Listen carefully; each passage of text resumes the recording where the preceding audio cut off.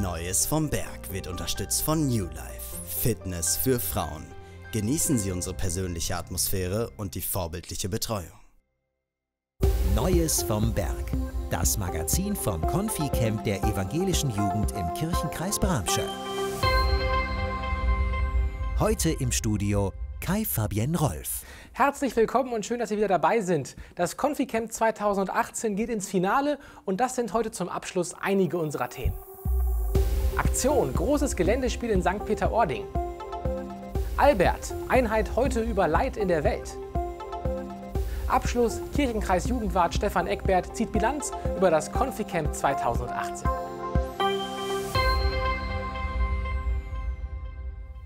Eine besondere Premiere gab es gestern Nachmittag. Eine Taufe, eigentlich geplant direkt an der Nordsee, aber das Wetter machte den Verantwortlichen einen Strich durch die Rechnung. Warum es trotzdem auch für die bereits getauften Jugendlichen ein durchaus bewegendes Erlebnis war, wir waren mit der Kamera dabei. Die Taufe, wohl einer der wichtigsten Momente im Leben eines jeden Christen. An diesen besonderen Tag erinnern können sich wohl die wenigsten, denn schließlich waren sie noch ein Baby. Anders ist das für zwei Konfirmandinnen. Alia und Zoe werden heute im Rahmen des Konfi-Camps getauft. Wie es dazu kam, weiß Pastor Michael Grimsmann. Die Idee habe ich kennengelernt in Göttingen, da war ich Vikar, war ich beim Konfirmandencamp dabei am Edersee. Da habe ich das gesehen, wie schön das ist, auf dem Konfi-Camp zu taufen. Ähm, und dann habe ich das den Eltern vorgestellt auf dem Elternabend und dann hatte ich Eltern, die haben gesagt, ja, das finden wir toll. Ähm, und dann wollte Zoe unbedingt und am Ende sagte Alia noch, ja, das mache ich auch. Ähm, und darüber freue ich mich sehr. Ein ganz besonderes Erlebnis, sowohl für die anwesenden Konfis als auch für die beiden Täuflinge. Zoe weiß genau, warum sie sich für diese spezielle Umgebung entschieden hat. Das ist halt ein bisschen schöner als in der Kirche, weil das sehen halt dann auch mehr Leute und so. Und dann ja, teilt man das halt auch mit mehr Leuten.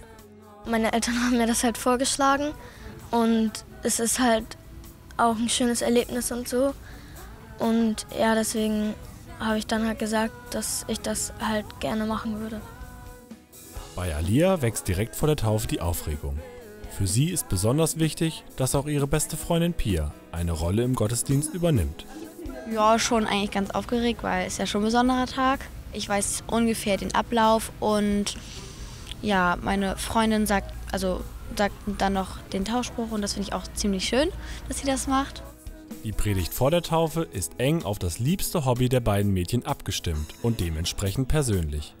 Als passionierte Reiterin wissen sie, wie wichtig ein Sicherheitsriemen am Sattel ist, an dem man sich festhalten kann, wenn das Pferd einmal durchgeht. Michael Grimsmann nutzt dieses Bild als Vergleich für die Taufe. Denn diese bildet die sichernde Verbindung zu Jesus Christus, in guten wie in schlechten Tagen. Zoe, ich taufe dich auf den Namen Gottes des Vaters und des Sohnes und des Heiligen Geistes. Zoe, Gott freut sich über dich, er hat dich gern. Er ist bei dir am Tage und in der Nacht, wenn du weinst und wenn du lachst. Dass Alias beste Freundin Pia den Taufspruch vorlesen darf, ist für die beiden Konfirmandinnen ein hochemotionaler Moment, der ihre innige Verbindung noch einmal verstärkt. Alias Taufspruch steht im Psalm 36. Herr, deine Güte reicht, soweit der Himmel ist und deine Wahrheit, soweit die Wolken gehen. Das war ein ganz besonderes Erlebnis für mich natürlich, weil sie ist halt so ähnlich wie eine Schwester für mich. Wir haben am gleichen Tag Geburtstag.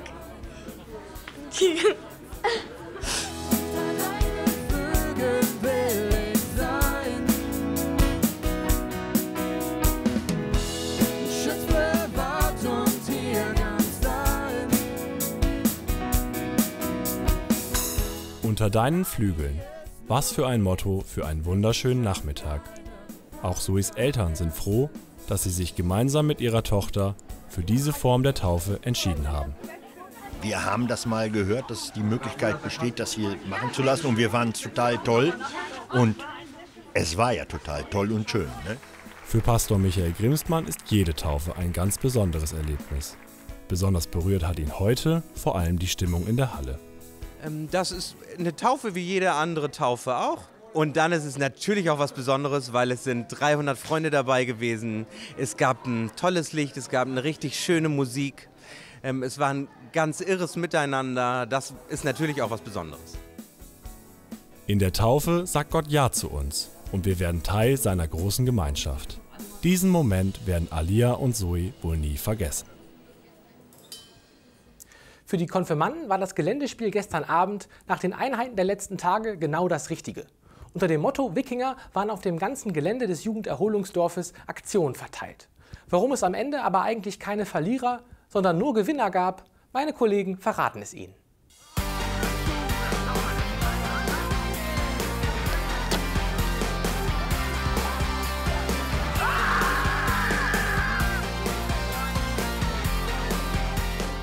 Die Wikinger erobern das Konfi-Camp.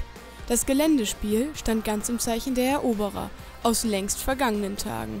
Vicky höchstpersönlich bittet die Konfis um Hilfe, denn der schreckliche Sven hat sämtliche Geldvorräte geklaut. Die Konfis müssen Minispiele bestreiten und äh, bekommen dafür sozusagen, sogenannte Goldmünzen. Die äh, müssen sie dann äh, den Teamern, die hinter dem äh, hinter Svens Land sind, äh, müssen sie da durchgehen. Allerdings äh, haben alle die Augen verschlossen, bis auf der letzte. Muss, äh, der muss sie dann äh, durch das Feld führen und äh, wer zuerst äh, die meisten Goldmünzen hat, der hat dann gewonnen und bekommt das Boot und hat somit unser Dorf gerettet. Auf dem ganzen Außengelände sind die Aufgaben verteilt, in denen es die Münzen zu erspielen gilt. An einer Station gehen die Konfis sogar auf Wildschweinjagd. Das ist ein Wildschwein, wie ihr seht. Das sind Wikingerspeere. Ja? Hier, gute alte Wikingerspeere. Ihr müsst mit diesem Wikingerspeer die Sau töten. Die ist so stark, die braucht fünf Trefferpunkte. Wenn ihr oben durch die Kette werft, ist es ein Trefferpunkt. Wenn ihr durch den Karton werft, zwei Trefferpunkte. Also fünf Treffer und die Sau ist tot. Für euch ein Goldstück und für mich Schweinebraten. An einer weiteren Station wird es dann laut. Eins, zwei, drei. Ah! Boah, das war ja super beim ersten Mal. Wir mussten so laut schreien, wie wir konnten. Wir mussten den bösen Sven Angst einjagen. Das Geländespiel kommt bei den Teilnehmenden sehr gut an. Ja, sehr gut. Also die Schüler machen Spaß und ich glaube, ähm, ja, dass wir die besiegen können. Dass man halt Spaß hat und halt alles ausprobieren kann und mit der, also mit halt anderen Leuten was unternimmt und nicht immer mit seinen Freunden oder mit der Gemeinde generell. Denn die Zehnergruppen, in denen die Konfirmanden Vicky helfen sollen, wurden vorher komplett zufällig zusammengewürfelt. Da ist Teamgeist gefragt und eine gute Zusammenarbeit wichtig. Sonst ist der schreckliche Sven nicht zu besiegen. Bin der schreckliche Sven! Und was ist deine Aufgabe? Naja, ich brandschatze, ich raube und im Moment beschütze ich das große, schreckliche Tal. Wenn die Leute versuchen, hier alleine durchzukommen, dann sage ich Ihnen, dass das unschaffbar sein wird. Sie müssen sich zusammenraufen. Aber es ist so nebelig. Nur einer von Ihnen kann die Lenkung übernehmen. In einer Reihe aufgestellt müssen die Konfis versuchen, auf die andere Seite zu gelangen. Aber nur der Letzte in der Schlange kann etwas sehen. Der Rest ist blind. Doch mit guter Zusammenarbeit schaffen es die Konfis auf die andere Seite und konnten so Vicky erfolgreich helfen, den Goldschatz zurückzubringen. Warum lässt Gott eigentlich Leid zu? Diese Frage musste sich Engel Albert heute des Öfteren anhören. Denn die Jugendlichen, die Albert auf der Erde begleitet, mussten in der letzten Zeit ziemlich viel Leid ertragen. Welche Antwort Albert auf die Leitfrage hat und wie die letzte Einheit auf dem Camp verlief, wir haben den Konfis mit der Kamera über die Schulter geschaut.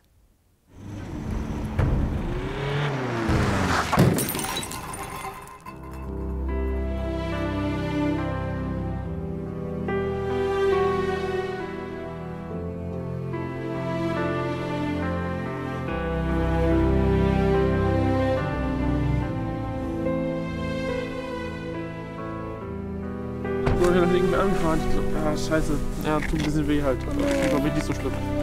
Was war denn da los? Wieso ist Gott nicht da, Albert? Warum lässt Gott Leid zu? Diese Frage stellt sich wohl jeder Christ im Laufe seines Lebens.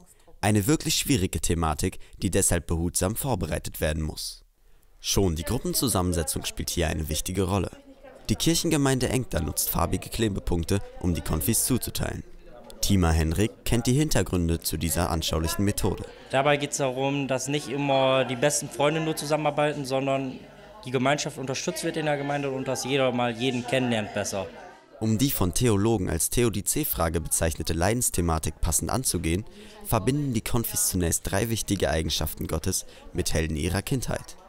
So stellen sich die einzelnen Homegroups die Frage, inwiefern Conny gütig oder Dumbledore allmächtig ist. Konfirmandin Sophie hat sich eine klare Meinung gebildet. Unsere Gruppe ist darauf gekommen, dass ähm, Dumbledore sehr mächtig ist, aber jetzt auch nicht allmächtig. Dass Gott noch ein bisschen mächtiger ist wie Dumbledore, weil Gott uns ja auch alle behütet und auf uns aufpasst. In einer sogenannten Leidenskiste stellen die Konfis dann auf kreative Art und Weise eine Leidensthematik bildlich dar. Tillmann und Lutz haben eine tolle Idee für ihre Inszenierung. Wir nehmen das Beispiel Armut und dann machen wir, da trennen wir das in der Mitte und dann machen wir einmal für die reiche Seite und die arme Seite. Warum die Theodizee-Frage das erste Mal auf dem Konfi-Camp behandelt wird, weiß Tima Alex. Er hat die Einheit thematisch vorbereitet und ist auch im passenden Albert-Film einer der Hauptdarsteller. Ich denke, da ist auch ein starker Kritikpunkt einfach generell immer an unserem Glauben, wenn die Konfis eben in der Phase sind, wo sie halt feststellen, ja, was soll ich denn jetzt eigentlich glauben, dass sie dann eben auch sehen können. Wir haben auch eine Lösung vielleicht für diesen Kritikpunkt. Auch Lena arbeitete aktiv an den Vorbereitungswochenenden mit. Für sie war gerade die schauspielerische Leistung eine große, aber auch tolle Herausforderung. Natürlich hat man selbst viel über die Frage nachgedacht, aber ich fand es total gut, ähm, auch die, halt die Situation zu drehen. Ich als Mara ähm, saß in der Situation vor dem Fernseher und habe ähm, die schwere Lage in Syrien beobachtet.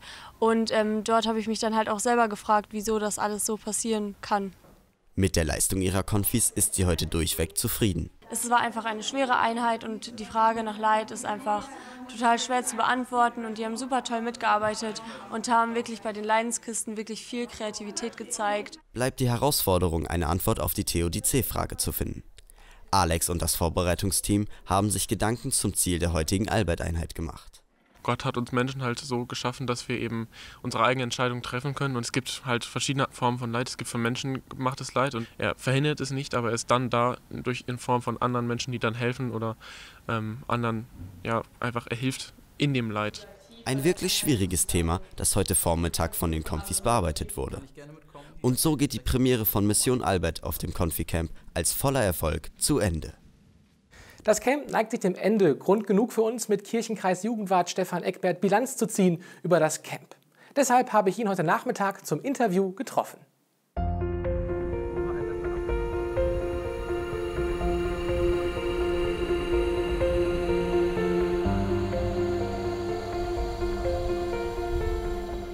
Ja, Stefan, eine Woche Konfi-Camp, so schnell ist es schon fast wieder vorbei. Die letzten Stunden hier für uns in St. Peter-Ording. Dein Fazit? Äh, es läuft total gut. Alles hat sich irgendwie eingegruft. Gestern hatte ich einen wirklich richtig guten Tag. Ähm, die Mitarbeiter wissen, was sie tun sollen. Die Konfis wissen, was sie tun sollen. Wenn die Musik spielt, fangen die an, äh, Polonaise zu tanzen wenn wir äh, einen Spieleabend machen. Gestern Abend durfte ich Wikingerhäuptling spielen. Das hat mir wirklich sehr viel Spaß gemacht. Äh, ich hatte so eine Plastikaxt und äh, alle kamen rum und haben mit mir rumgealbert. Und äh, das war einfach richtig schön. Das war gut, hat mir gefallen. Du hast es gerade angesprochen, Mission Albert, die neuen Filme, die neuen Konzepte. Wie ist das angekommen? Ganz unterschiedlich. Die erste Einheit war richtig gut, da haben sie sich äh, richtig drauf gefreut und das hat Spaß gemacht. Die zweite Einheit, das war noch ein bisschen kurz. Gestern hatten wir Thema Liebe, das war ähm, ganz groß und alle Konfis waren sofort dabei, weil das kann man einfach irgendwie miterleben. Heute haben wir ein schweres Thema, wie gehen wir eigentlich mit dem Leid in der Welt um? Wo kommt das her? Ist Gott da eigentlich schuld dran? Ähm, in der Vorbereitung hatten wir den ganz großen Wunsch, diese Frage zu beantworten, aber eine einfache Antwort gibt es da, glaube ich, nicht. Äh, und das ist einfach auch ganz schwer. Aber diese Frage stellen zu können und stellen zu dürfen und zu überlegen, wie entsteht eigentlich Leid. Hm. Wie bist du mit deinem Team zufrieden? Wie, wie hat sich das die Woche äh, entwickelt, gemausert, gemacht? Ich bin mit meinem Team sehr, sehr zufrieden. Ähm, der Morgen fängt sehr früh an, vor dem Frühstück. Ähm, treffen uns in der Teamerrunde. Und ich hatte erwartet, dass so nach und nach die Teamer vielleicht äh, noch, doch noch ein bisschen schlafen. Aber jeden Morgen sind die alle um Punkt, also Punkt Viertel vor äh, acht sitzen die bei mir in der Halle, alle 70 Teamer. Da fehlt kein einziger, ähm, nur um mit mir den Tag nochmal durchzusprechen. Da bin ich sehr beeindruckt von. Hm. Wir haben am Montag gesprochen, der Wechsel aus den dicken Birken hier nach St. Peter-Ording. Eine gute Entscheidung? Eine sehr gute Entscheidung. Ähm, ich habe es sehr genossen, dass die Häuser ganz dicht beieinander stehen. Wenn ich so über den Platz gehe, äh, winken mir die Jugendlichen zu, die grölen. Die ganzen Häuser sind richtig schön, die Halle ist schön, obwohl sie ein bisschen eng ist, aber es ist auch äh, kuschelig. Und meine Lichttechniker machen aus allem was Gutes. Das ist auch richtig schön. Ja, danke dir, Stefan, für das Gespräch. Und eines darf auch dieses Jahr wieder nicht fehlen, unser Highlight-Clip. Wir haben alle Momente und Emotionen vom Camp 2018 noch einmal zusammengefasst.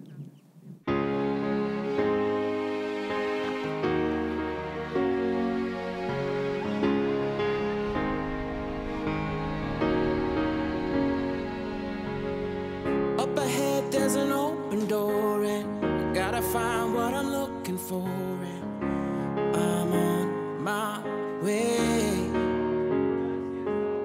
Mir gefällt das Comfy-Camp sehr gut. Das ist immer spannend jeden Tag. Das ist ziemlich abwechslungsreich und ich finde die Einheiten auch sehr lehrreich und es macht viel Spaß. Ich finde die Band richtig cool. Also das macht richtig Spaß. Wir feiern auch immer richtig mit und das ist richtig cool. Zum Strand gehen, das fand ich eigentlich so ganz schön. Zum Beispiel den Casinoabend, den fand ich sehr cool. Super, also man erlebt was Neues, ne? Ich finde die Unterrichtseinheiten voll cool und die Teamer sind alle voll nett und man kann voll gut mit denen lachen. To make all my dreams come true.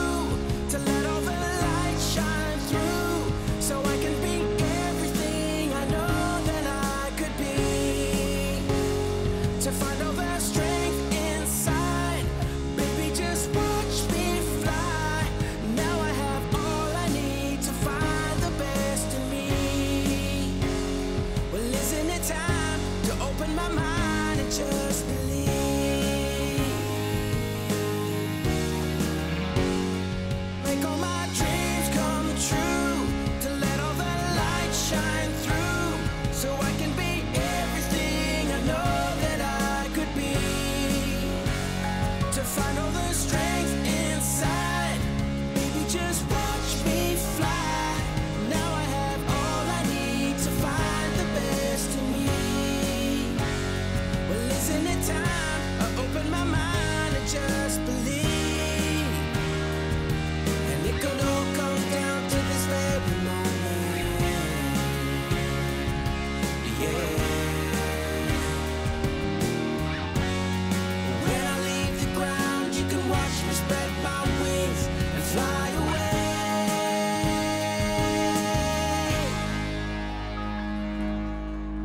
Ja, ich würde nochmal mitfahren. Ja, auf jeden Fall. Ja, klar. Gerne. Wenn ich die Chance hätte, definitiv ja. So I can be everything I know that I could be. To find all the strength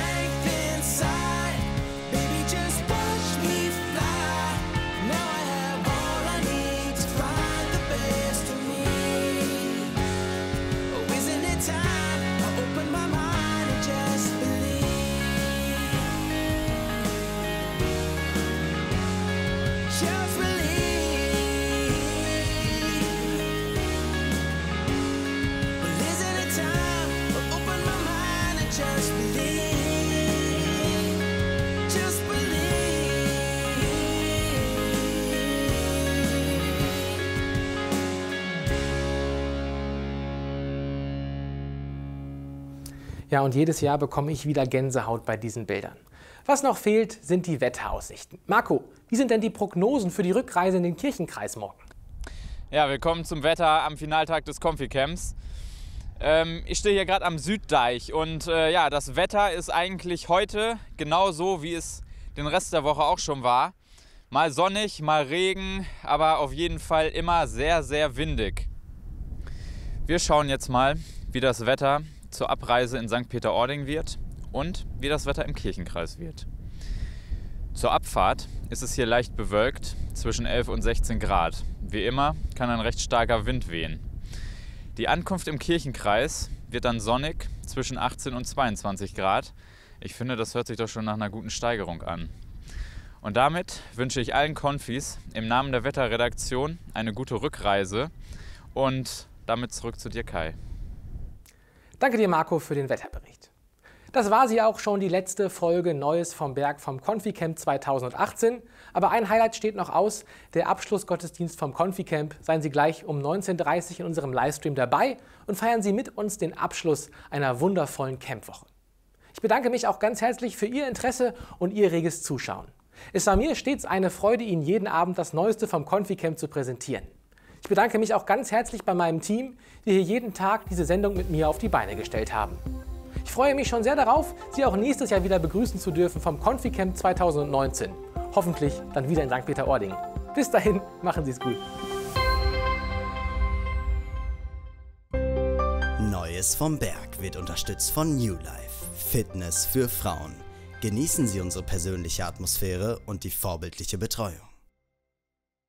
Eine Produktion des Mediendienstes der Evangelischen Jugend Bramsche. www.kirche.media